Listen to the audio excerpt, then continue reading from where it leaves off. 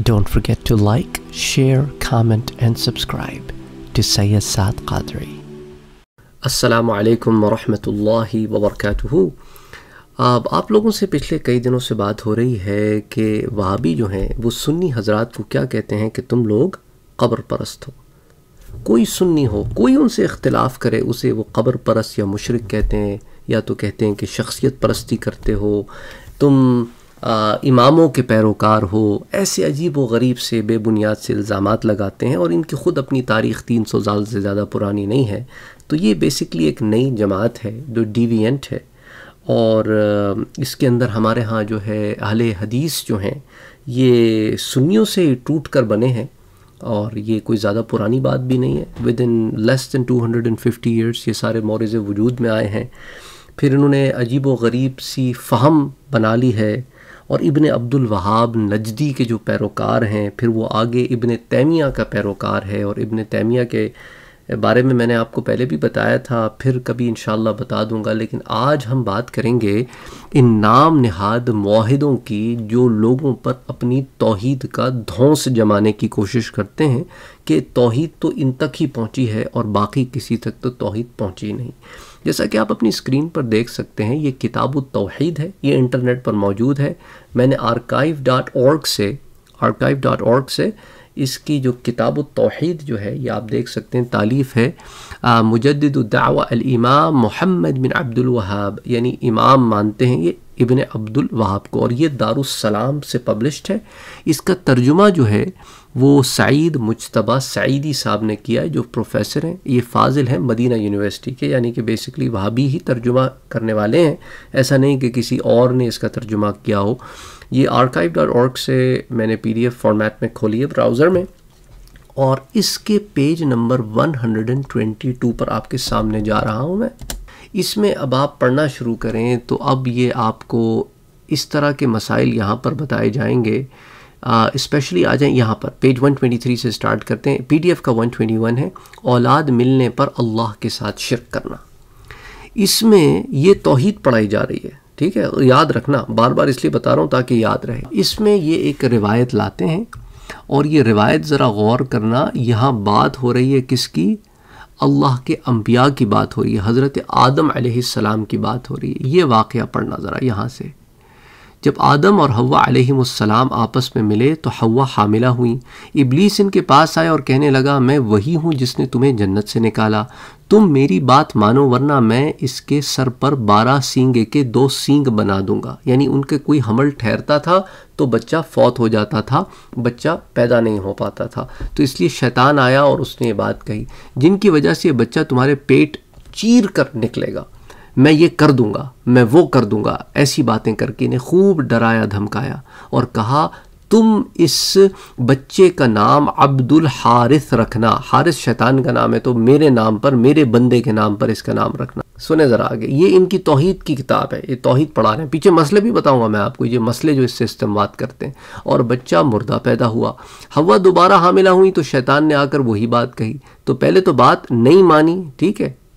फिर उसके बाद बच्चा दोबारा पैसे ही पैदा हुआ, लेकिन आदम और हवा ने बात ना मानी, बच्चा मुर्दा पैदा हुआ। फिर हवा तीसरी मरतबा हामिला हुई तो शैतान फिर आया और फिर वही बातें करने लगा। इनके दिल में बच्चे की मोहब्बत पैदा हुई और उन्हें बच्चे की विलादत के बाद इसका नाम अब्दुल हारिस रख दिया। किसने? इन्होंने। कौन है ये? इन्हों। ये आदम और हवा अलैहिस्सलाम के बारे में बात होती रही।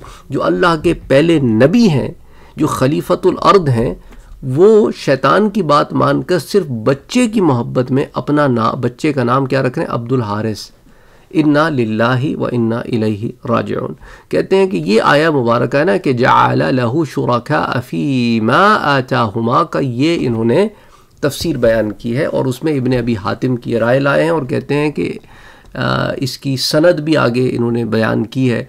कि इसे बसनद सही हज़रत कदाता से, कतादा से बयान किया गया। भाई, जो रिवायत अपनी दिरायत में इस खोट को पहुँचती है, उसको तो रद्द कर देना, कोई मुसलमान ये पढ़ेगा रिवायत तो उसको ऐसी रद्द कर देगा कि दिरायत के असूल के मुताबिक तो उतरती नहीं, कि अल्लाह के नबी भी अगर शिरक करने लग जाएँ तो बात ही ख़त्म हो गई। अच्छा लोग कह सकते हैं कि भाई इन्होंने ये यहाँ पे रिवायत नकल कर दी है, इससे इनका ये माना नहीं था। अब आ जाए नीचे जो इन्होंने मसले यहाँ से निकाले ये ज़रा नीचे देखें, मसला नंबर तीन। क़स्सा मस्कूरा में जिस शिरक का ज़िक्र है, वो सिर्फ़ नाम रखने की हद तक था, हकीकी शिरक ना था। यानी कि अल्लाह के जो नबी हैं, वो शिरक कर रहे हैं। अच्छा इसी तरह इनकी एक किताब है, ये गायतुलमरीद फ़ी शरह किताब तोहद। ये इनके फ़जीलत शेख सालह इबन अब्दुलज़ीज़ बिन महमद बिन इब्राहिम आल शेख वज़ी मजहबी सऊदी अरब, ये दारुसलाम से पब्लिश्ड है। इसमें इसी की ज़रा तशरी बयान की गई है। तशरी में ज़रा देखें ना, मज़कूरा वाक़ में आदम और हवा के जिस शिरक का ज़िक्र है, यानी आदम और हवा दोनों ने शिरक किया वो सिर्फ़ बच्चे के नाम रखने की हद तक था, हकीकी शिरक ना था। यानी अब आद, बंदा ये पढ़े तो अब ये ये तोहहीद पढ़ा रहे हैं ये। ये इनकी तोहद की किताब का हालत है तो अब आप इससे अंदाज़ा करें कि क्या आप ऐसे लोगों से दीन पढ़ना चाहेंगे जिनका अम्बिया के मामले में ऐसा अकीदा हो? कि जो अम्बिया के मामले में कहते हों कि अम्बिया ने माज़ल्ला अस्तफ़िल्लाज़ीम शिरक के मरतकब हुए हों। ये रिवायत बातिल है क्योंकि हज़रत आदम ने अगर अपने बेटे का नाम अब्दुल हारिस बतौर इल्म रखा था और इसके लफ्ज़ी माने का लिहाज नहीं किया था तो फिर ये नाम रखना शिरक ना हुआ, क्योंकि असमाय आलाम में अल्फाज के मानी जो है, माने असलिया के एतबार होता है। और आदम सलाम को इन आयात का मजदाक करार देना सही नहीं होगा, ये सुन्नी राय है। और अगर आदम ने अपने बेटे का नाम अब्दुल हारिस बतौर सिफत रखा था तो फिर ये शिरक है। और आदम सलाम अल्लाह के नबी हैं और नबी मासूम होते हैं। उनके मुतालिक शिरक तस्वुर करने वाला जो है, वो गुम करदा राह है, बदमजहब है। ये तस्वुर भी नहीं किया जा सकता कि आदम सलाम अपने बेटे को इबलीस का बंदा करार दे। अस्तफ़िरज़ीम आया मुबारक, इसकी तफसीर अगर आपने जाननी है तो आप मुझे कमेंट सेक्शन में लिख सकते हैं। फिर इसकी तफसीर जो है, फिर मैं आपको इन ताला बयान करने की कोशिश करूँगा।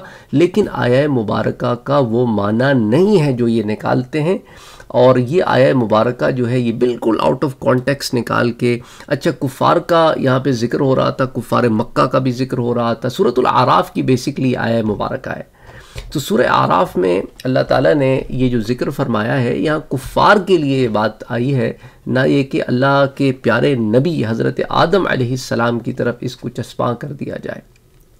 इस आयत की एक तफसीर है, वो फिर इन ताला फिर आपसे बयान करेंगे, जो सही मानों में इसकी तफसीर सुन्नी ने की है, और यही वजह है कि हम इस बात को आपको बताने की कोशिश कर रहे हैं कि बद मज़हबों से दीन नहीं लिया जा सकता क्योंकि इस किस्म के उनके अकीदे में झोल होते हैं। जिस तरह के आपने यहाँ देखे और ये इनकी तोहद की किताब है तो सोचें फिर बाकी किताबों में कितने ब्लंडर्स होंगे।